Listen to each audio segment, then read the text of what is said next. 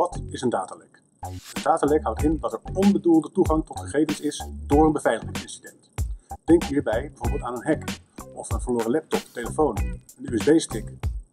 Sinds 2016 is al de meldplicht datalekken, maar met de nieuwe privacywetgeving in 2018 zal dit alleen maar meer verplichtingen met zich meebrengen. Stel interne procedures op voor het omgaan met persoonsgegevens en van datalekken. Zorg ervoor dat je weet wie er verantwoordelijk is voor de melding en hoe je de betrokkenen gaat informeren.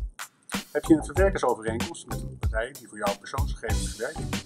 Zorg er dan voor dat in die verwerkersovereenkomst staat hoe je omgaat met een datalek. Neem ook niet alleen beveiligingsmaatregelen digitaal, maar kijk ook bijvoorbeeld eens naar hoe een onbevoegd persoon bij persoonsgegevens zou kunnen. Hiermee voorkom je een mogelijk datalek. Heb je toch een datalek? Kijk wat je ervan kan leren en neem maatregelen.